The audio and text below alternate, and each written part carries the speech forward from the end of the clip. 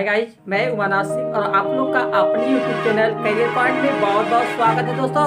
तो बहुत से कमेंट आए थे कि सर ग्रामर जो कक्षा बारह के उसके ऊपर कुछ वीडियो दीजिए। तो आज चलिए मैं कक्षा बारह में ग्रामर शुरू करने जा रहा हूँ दोस्तों। इसके पहले वॉयस और नरेशन डायरेक्ट इनडायरेक्ट की वीडियो अपलोड कर चुका हूँ। और प्लेलिस्ट में जा करके वो सब वीडियो आप देख लीजिएगा। तो चलिए आज की वीडियो में टाइम रेस्ट हुए शुरू करते हैं आगे बढ़ने से पहले आपसे रिक्वेस्ट है, अभी चैनल को सब्सक्राइब करके बेल आइकन दबा दीजिए आल वाला बेल आइकन दबाइएगा।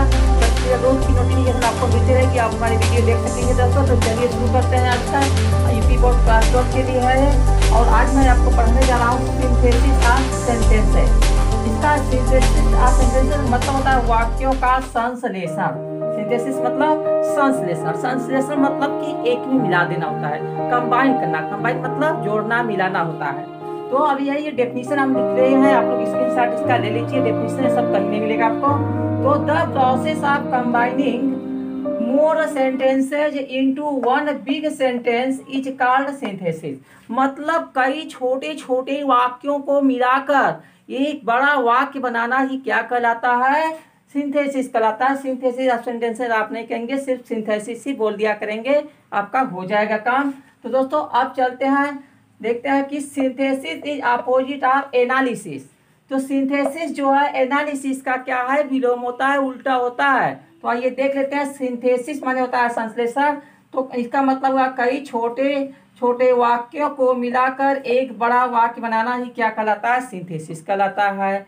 और एनालिसिस क्या होता है? मैंने इसके मतलब होता है विश्लेषण। विश्लेषण मतलब क्या हुआ? एक बड़े वाक्य को तोड़कर कई छोटे छोटे वाक्य बनाने को हम क्या कहते हैं? एनालिसिस कहते हैं। इतना तो कॉन्सेप्ट आपको क्लियर हो जा, होगा मैं पूरा कॉन्सेप्ट क्लियर कराऊँगा बिकॉज़ कॉन्सेप्ट इज़ पावर तो चलते हैं, आगे बढ़ते हैं। तो दोस्तों सिंथेसिस करते समय आपको एक बात ध्यान रखना चाहिए। कि जो छोटे छोटे वाक्य आप जोड़ करके एक बड़े वाक्य बना रहे हो तो दोनों में कोई डिफरेंस नहीं आना चाहिए, उनके अर्थों में कोई अंतर नहीं आना चाहिए। अगर अर्थों में अंतर आ गया मीनिंग में अंतर आ गया डिफरेंट आ गया तो आपका सिंथेसिस रॉन्ग माना जाएगा, गलत माना जाएगा दोस्तों। तो ये ध्यान रखना चाहिए आपको। अब आइए, अब देखते हैं स्टडी ऑफ़ सिंथेसिस मतलब सिंथेसिस का अध्ययन हम कितने तरीकों से करते हैं। तो सिंथेसिस का जो अध्ययन है दोस्तों तीन तरीकों के से करते हैं, तीन वाक्यों के अंतर्गत होता है। तो नंबर वन है कॉम्बिनेशन कॉम्बिनेशन मतलब जुड़ाव करना, जोड़ना। आप मोर सिंपल सेंटेंसेज यहाँ पर सेंटेंसेज होगा। मतलब कई छोटे छोटे वाक्यों को मिलाकर इनटू वन सिंपल सेंटेंस मतलब कई छोटे छोटे वाक्यों को मिलाकर एक साधारण बड़ा वाक्य बनाना। और दूसरा टॉपिक हमारा होगा combination of more simple sentences into one complex sentence मतलब कई छोटे छोटे वाक्यों को मिलाकर एक मिश्रित वाक्य बनाना कॉम्प्लेक्स मतलब मिश्रित वाक्य बनाएँगे। और तीसरा टॉपिक हमारा होगा combination of more simple sentences into one compound sentence compound मतलब संयुक्त वाक्य होता है। तो कई छोटे छोटे साधारण वाक्यों को मिला करके एक संयुक्त वाक्य हम बनाना सीखेंगे दोस्तों। तो अब हम हमारा पहला आप शुरू करते हैं combination of more simple sentence into one simple मतलब कई छोटा छोटा साधारण वाक्य को मिलाकर ही अब कैसे हमें एक साधारण बड़ा सा वाक्य बनाएँगे, उसका अब हम स्टडी करेंगे। अब आपको हम बताने जा रहे हैं कैसे करना है। तो आइए समझते हैं दोस्तों इसको। एक अब इसका जो नियम तो बहुत सारे इसमें है। सिंपल सेंटेंस मिलाकर एक बड़ा सिंपल सेंटेंस बनाने के बहुत सारे नियम हैं। तो इसमें पहला नियम हमारा है पार्टिसिपल का। तो पहला रूल है by the use of participle मतलब पार्टिसिपल का हिंदी में अर्थ होता है कृतंत। कृतंत का प्रयोग करके हम कैसे जोड़ेंगे? उसका नॉमिनेटिव अब्सोल्यूट है एडजेक्टिव से है एडवर्ब से है नाउन फ्रेज से है कंजक्शन से, तमाम नियम, आठ नियम सब हैं इसमें। तो मैं एक एक करके आपको सब बताऊँगा और जितना हो सकेगा इस वीडियो में, बाकी हम अगली वीडियो में थोड़ा थोड़ा देते रहेंगे आपको। पूरा मेरा देखिए, समझिए? तो देखिए, पहले आप समझिए पार्टिसिपल का मतलब क्या होता है कीर्तन का मतलब क्या होता है व्हाट इज़ पार्टिसिपल तो आइए डेफिनेशन लिख लीजिए the form of verb which work as adjective is called participle. मतलब क्रिया का वह रूप जो विशेषण या संज्ञा का काम करे, नाउन का काम करे या विशेषण का काम करे, उसी को हम क्या कहते हैं? पार्टिसिपल कहते हैं। ठीक है? मतलब क्रिया है। तो क्रिया नए काम करके किसका काम करे? विशेषण का काम करे। तो उसको क्या कहते हैं? पार्टिसिपल कहते हैं दोस्तों। ये पार्टिसिपल कितने प्रकार के होते हैं? तो आइए उसको बता देते हैं हम आपको। तो नंबर वन होता है काइंड ऑफ़ पार्टी और हाँ ध्यान रखना दोस्तों। पार्टिसिपल से जोड़ते समय हमें ध्यान रखना चाहिए, यह तभी होगा जब सभी वाक्यों का कर्ता क्या हो? एक ही हो। और एक दूसरे पर कार्य निर्भर करता हो डिपेंड करता हो, तब हम पार्टिसिपल से जोड़ते हैं। और उसमें ये भी ध्यान रखना चाहिए सभी वाक्य में ढेर सारे फाइनाइट वर्ब होते हैं तो सभी फाइनाइट वर्ब को ख़त्म करके पार्टिसिपल बना देते हैं और अंतिम में जो पार्टी फाइनाइट वर्ब होता है, उसको छोड़ देते हैं। ठीक है? और जो काम पहले होता है, उसी को हम क्या करते हैं? पार्टिसिपल बनाते हैं। तो दोस्तों, अब जैसे एक वाक्य ले लेते हैं, जैसे कि आई आई saw a lion. I saw a lion. मैंने एक शेर देखा, और दूसरा वाक्य है, I ran away ran away अब ये वाक्य है। मैंने एक सर्फ देखा और मैं भाग गया। तो यहाँ देखो, कर्ता यहाँ पर भी आई है, यहाँ पर भी क्या है? आई है। मैं दोनों में कर्ता सब्जेक्ट सेम है ना, तब हम इसको पार्टिसिपल से जोड़ सकते हैं। और देखो, इसका कार्य पर दूसरे पर निर्भर भी करा है। मैंने एक शेर को देखा और भागा। शेर देखे तभी भागे। तब यहाँ क्या कार्य दूसरे निर्भर कर रहा है? तब पार्टिसिपल से हम इसको जोड़ेंगे। और देख रहे हैं, इसमें क्या है? आ, कि ये काम कैसे हो रहा है झटके से हो रहा है कैसे हो रहा है आराम से हो रहा है तो उस पर हम अभी पूरा हम बताएँगे कैसे करना है। तो आप पहले सीख लेते हैं पार्टिसिपल कितने होते हैं। तो पहला पार्टिसिपल होता है हमारा प्रेजेंट पार्टिसिपल ठीक है? Present participle. पार्टिसिपल। और दूसरा होता है आपका पास्ट पार्टिसिपल। पास्ट पार्टिसिपल ठीक है भाई? अब तीसरा होता है परफेक्ट पार्टिसिपल परफेक्ट पार्टिसिपल ठीक है? अब इसमें देख लो, ये जो सा है सा है, इसमें रैन है। तो इन दोनों को हम क्या कहेंगे? फाइनाइट वर्ब कहेंगे। क्या कहेंगे? फाइनाइट वर्ब है ये। यही हमारा फाइनाइट वर्ब है। तो इसमें क्या, जो काम पहले हुआ है, उसका फाइनाइट वर्ब नहीं लिखेंगे। उसमें हम क्या करेंगे? पार्टिसिपल में चेंज करेंगे और दूसरा फाइनाइट वर्ब हम लिख लेंगे कामा लगा करके अभी नियम सब बताएँगे, बस बने रहिए वीडियो में। तो दोस्तों, आप हमारा देखिए, पहला प्रेजेंट पार्टिसिपल तो प्रेजेंट पार्टिसिपल क्या होता है? तो इसको लिख लीजिए।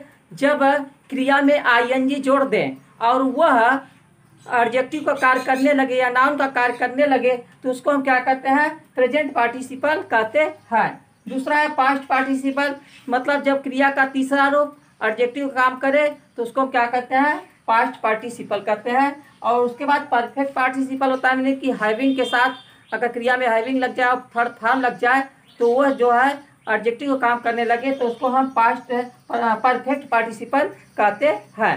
तो ये तो ये हो गया। अब आइए चलिए देखते हैं कि प्रेजेंट से पार्टिसिपल से हम कैसे वाक्य को जोड़ेंगे क्या क्या रूल है, सब सीखिए। यूज़ आर प्रेजेंट पार्टिसिपल प्रेजेंट पार्टिसिपल से हम कैसे जोड़ेंगे वाक्य को? तो आपको ध्यान देना चाहिए दोस्तों, इसको जोड़ने के लिए पहली बात हमें ध्यान होना चाहिए subject is same subject is same मतलब अगर कर्ता सभी का सेम है, एक ही है, तब हम प्रेजेंट पार्टिसिपल से जोड़ सकते हैं। दूसरा पॉइंट हमारा इसका है कि सडनली सडनली वर्क डन मतलब जो कार्य है, अचानक होना चाहिए, झटके से काम होना चाहिए, तब हम किससे जोड़ेंगे? प्रेजेंट पार्टिसिपल से। और उसके बाद सब्जेक्ट से होना और कार्य जो है, झटके से होना चाहिए। और तीसरा पॉइंट हमें ध्यान देना है work is depend work is depend depend मतलब काम जो है, एक दूसरे पर निर्भर होना चाहिए। स्वतंत्रता पूर्वक नहीं हो रहा है, एक वाक्य दूसरे पर निर्भर हो। तब हम प्रेजेंट पार्टिसिपल से हम वाक्य को जोड़ेंगे। तो जोड़ने का नियम ये है दोस्तों, कि पहले जो कार्य आपका पहले हुआ है, उसके का जो फाइनाइट वर्ब है, उसको आप क्या करेंगे? प्रेजेंट पार्टिसिपल बनाएँगे। प्रेजेंट पार्टिसिपल कैसे बनेगा? क्रिया में आईएनजी जोड़ देंगे तो आपका प्रेजेंट पार्टिसिपल बन जाएगा। अभी हमने जो वाक्य लिखा था तो उसी को हम ले लेते हैं। और आज देख, देखते हैं जैसे है कि सेपरेट सेंटेंस पहले लिख लेते हैं सेपरेट सेपरेट सेपरेट मतलब अलग अलग. तो हो गया आई saw a lion. I saw a lion. मैंने एक शेर देखा. दूसरा वाक्य है? I ran away. I ran away. मैं भाग गया. अब आई, चलिए इसका कंबाइन कीजिए. कंबाइन कंबाइन क्या होगा दोस्तों इसका? कंबाइंड कर दो। तो कंबाइंड अब इस कैसे करेंगे इसको दोस्तों? पहले समझिए क्या है। मैंने एक शेर देखा, और यहाँ पर आई रहने भाई तो करता तो देखो पहले दोनों सेम है ना? यहाँ भी आई है, यहाँ भी आई है तो प्रेजेंट से जुड़ेगा। अब उसके बाद काम कैसे हो रहा देखो पहले। आप शेर देखोगे, बैठोगे वहाँ आराम से कि चलो अच्छा बैठ के हाल चाल पूछेंगे, फिर चलेंगे, भागेंगे? नहीं। आप शेर देखेंगे, सब देखेंगे, तुरंत वहाँ से भाग जाएँगे। तो ये काम झटके से हो रहा है, अचानक हो रहा है। तो किससे जोड़ेंगे? प्रेजेंट पार्टिसिपल से जोड़ेंगे। और देख रहे हैं इसमें कि फाइनाइट वर्ब भी जो है अलग अलग है। अब जो काम पहले हुआ है, उसी को फाइनाइट वर्ब को हम पार्टिसिपल बनाएँगे। तो कौन सा काम पहले हो रहा है? शेर पहले देख रहे हो ना? भाग बाद में रहे हो। तो पहले शेर देख रहे हो, जो सा यहाँ पर दिख रहे हैं आपको। सा। तो सा का पहला रूप क्या होता है? सी होता है। और सी में आई एन जी आप जोड़ देंगे। तो हो जाएगा सींग सींग अ लायन अब कामा दे करके दूसरा वाक्य पूरा आप उतार लेंगे। इसका कर्ता अब यहाँ नहीं लिखेंगे। इसका कर्ता दोनों मिलाकर लास्ट में एक ही लिखेंगे। सींग a lion I ran away ये हो गया आपका। ठीक है गाइस अब चलिए कुछ और भी आपके कंडीशन में एग्ज़ाम में, जो पूछे गए बोर्ड में, उनका एग्ज़ाम्पल भी आपको देता हूँ। देख लेते हैं कि अगर किसी वाक्य में ये लिंकिंग वर्ड जैसे is are am was were ये सभी आ गए हैं, ठीक है? तो उसके जगह पर इसका तो आप ईजिंग आरिंग एमिंग वाजिंग वेयरिंग तो करेंगे नहीं। तो उसको हटाकर उसके जगह पर आप क्या लगा देंगे? बीइंग लगा देंगे बी ई आई एन जी तो आइए एग्ज़ाम्पल से हम आपको क्लियर करते हैं। जैसे है द टाइगर वाज हंग्री मतलब शेर क्या था? भूखा था। और ही किल्ड अ गोट उसने एक बकरी को मारा। ये भी आपका एग्ज़ाम में देखिए 2005 में पूछा गया है तो ये क्या हो जाएगा? तब इसमें देखिए क्या है। तो यहाँ पर हम क्या करेंगे? वाच की जगह पर ही क्या लगा देंगे? बींग लगा देंगे और टाइगर को दूसरे सेंटेंस के साथ जोड़ देंगे। तो ये आपका कंबाइंड हो जाएगा इसका। कंबाइंड क्या होगा? Being being B E I N G being hungry H U N G R Y being hungry अब कामा मार कर, अब यहाँ ही नहीं लिखेंगे। यहाँ टाइगर जो नेम है तो उसको यहाँ पर लिखेंगे, ठीक है? Being hungry the tiger the tiger killed a goat killed a goat अब देखिए, अर्थ में अंतर आया? नहीं ना आया? शेर भूखा था, दूसरा उसने एक बकरी को मारा। अब इसका being hungry the tiger killed a मतलब कि भूखे होने के कारण शेर ने बकरी को मारा। तो इसमें देख रहे हैं, अर्थ में अर्थ नहीं, अंतर नहीं आ रहा है। तो दोस्तों, इसका अर्थ जो है, क्या लाया जाता है? करके होता है। कर, करके या हुए। ठीक है? ये जो पार्टिसिपल होता है, इसका अर्थ क्या करके लाते हैं प्रेजेंट में? करके या हुए। ठीक है? तो ये अर्थ लाते हैं। तो चलिए, अब आता है नेक्स्ट हमारा टॉपिक है। यदि कर्ता अलग अलग हो, अभी मैंने बताया है, कर्ता सेम होना चाहिए, लेकिन बाय द वे मान लीजिए कर्ता अलग अलग आ गया तब क्या कंडीशन बनेगी? तो आइए उसका केस नंबर फ़र्स्ट है कि अगर कोई वाक्य दोस्तों इट से शुरू हुआ है तो उसमें अगर वाज वेयर है तो उसमें बींग में बदलेंगे पहले इस नियम के अनुसार और ईट को वहाँ पर हम लिख लेंगे। तो जैसे इसमें है कि इट वाज हॉलीडे मतलब छुट्टी थी we did not go to school हम लोग स्कूल नहीं गए। अब इसको कैसे करेंगे? यहाँ करता ईट है, यहाँ वी है, कहेंगे कैसे होगा चेंज तो दोस्तों इसके लिए क्या करेंगे? पहले ईट आप उतार लेंगे एच इट अब वाज की जगह पर क्या लगा देंगे? बीइंग लगाएँगे। तो it being it being holiday holiday अब कामा मार कर दूसरा वाक्य जो है, पूरा उतार लीजिए। फिर we did not we did not go to school ठीक है इस तरह से इसको हम कर लेंगे। अब शुरू करते हैं केस नंबर सेकेंड यदि दूसरे वाक्य का कर्ता का संबंध पहले वाक्य के कर्म से हो। तो दोस्तों, अगर ऐसा भी होता है कि दोनों कर्ता सेम नहीं होते हैं मतलब पहले वाक्य में जो कर्म होता है तो दूसरे वाक्य में जो कर्ता आता है, उससे वो संबंध होता है। मतलब वही पहले वाक्य कर्म ही दूसरे वाक्य का कर्ता होता है। तो उस स्थिति में हम क्या करते हैं, जहाँ से हमारा कर्म शुरू होता है वहीं से हमारा पार्टिसिपल हम शुरू कर देते हैं। मतलब कि दूसरे वाक्य का कर्ता हटा देते हैं और दूसरे वाक्य का ही जो आपका वर्ब है, उसी को हम पार्टिसिपल में आई एन जी जोड़ करके कर्म के बाद लिख देते हैं। आइए एग्ज़ाम्पल से क्लियर हो जाएगा आपको। जैसे आई सा अ मैन मैंने एक आदमी को देखा। He was smoking a cigarette वह सिगरेट पी रहा था। तो ये भी आपका एग्ज़ाम में पूछा गया है। 2011 में तो मैं एक आदमी को देखा, वह सिगरेट पी रहा था। तो यहाँ देखिए, करता आई है, यहाँ करता ही हो गया। तो नहीं मैच कर रहा है। तो यहाँ पर क्या है, हम यहाँ देख रहे हैं, मैन है जो, और इसका संबंध किससे है? ही से है। मैन का संबंध ही से है। मतलब वो आदमी वहाँ सिगरेट पी रहा है ना? तो हमारा पार्टिसिपल अब कहाँ शुरू हो जाएगा? यही जो आपका स्मोकिंग है, यही इसको हटा करके स्मोकिंग यहाँ पर हम लिख देंगे लगा करके आपका सेंटेंस बन जाएगा। ये हो जाएगा क्या? आई saw a man I saw अ ये हटा दीजिए। अब यहाँ पर ही की जगह पर इसमें मैन में एडजस्ट हो गया जी। I saw a smoking smoking a cigarette smoking a cigarette मैंने एक आदमी को सिगरेट पीते हुए देखा। तो इस तरह से आप करेंगे। अगर कर्म से संबंध है तो उधर से ही इसको जोड़ देंगे। ज़रूरी नहीं है कि शुरू में ही आई वाला फरमाना चाहिए। अब आइए नेक्स्ट कमेंट हमारा है कि more than two sentences combined by and अगर दोस्तों, अभी आपने देखा कि सिर्फ़ दो ही वाक्य आ रहे थे। अगर दो से अधिक वाक्य आ रहे हैं तो उसको हम क्या करेंगे? एंड से जोड़ देंगे और लास्ट में उसका लगा के वो वाक्य उतार लेंगे, जैसे आप पहले किए थे। तो जैसे है he raised his gun he took aim he shot the tiger इसमें तीन वाक्य हो गए ना? इतना एक हो गया, ये दो वाक्य हो गया ये तीन वाक्य हो गया। तो यहाँ करता ही है, यहाँ करता ही है, यहाँ भी करता ही है। तो प्रेजेंट पार्टिसिपल से जुड़ेगा ये। अब देखिए, काम भी तो झटके से हो रहा है। उसने बंदूक उठाया, बंदूक उठाएगा तुरंत निशाना लिया होगा तुरंत गोली मारा होगा शेर को टाइगर को, ना? तो काम झटके से हुआ है। तो इसमें देखिए, ढेर सारे वाक्य हैं। तो क्या करेंगे? तो पहले हम इस रेज को उठाएँगे पार्टिसिपल में चेंज करेंगे।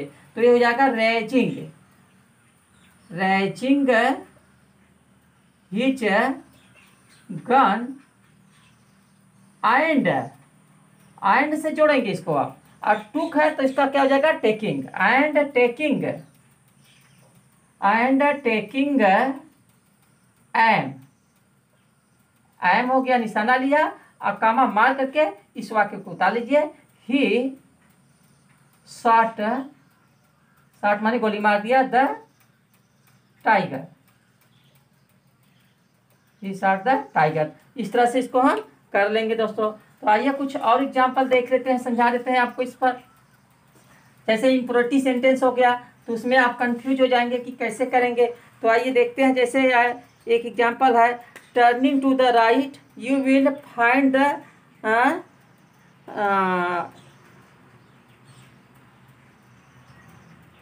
find the house. हाँ देखिए सेपरेट सेंटेंस है। Turning right you will find तो मतलब यहाँ देखिए टर्निंग से ही शुरू हो गया है। तो इसमें आपको कंबाइन करने के कुछ नहीं करना। बस यहाँ पर आई लगा ही है। मतलब आप दाएँ मुड़ेंगे, आप तब घर पा सकते हैं। तो इसको इस तरह से अगर वाक्य इंपरेटिव का आया है तो यही तुरंत उतार लीजिए इस तरह से। तो turning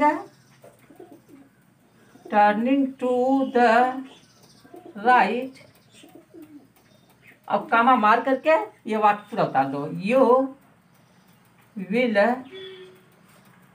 you will then you will then find the house house हो गया इस तरह से हम इसको करेंगे तो दोस्तों, आज मैं आपको प्रेजेंट पार्टिसिपल बता दिया। और, बाकी जो है पास्ट और परफेक्ट पार्टिसिपल नेक्स्ट डे आपको हम देंगे। ज़्यादा लॉन्ग हो रहेगा तो अब आज के लिए बस इतना पर्याप्त है। तो, तो आपसे रिक्वेस्ट है। चैनल में नए हो सब्सक्राइब नहीं की हो तो तुरंत अभी सब्सक्राइब मार दीजिए बगल में लाइकन आएगा और उसको प्रेस कर दीजिए आग वाला दबाइएगा तभी नोटिफिकेशन आपको मिलेगा। और अगर ये ट्रिक्स आपको पसंद आए अच्छी लगी वीडियो तो एक लाइक मारिए इसको और अपने दोस्तों के साथ शेयर कर जो भी प्रॉब्लम हो पनवासी को पनवासी माई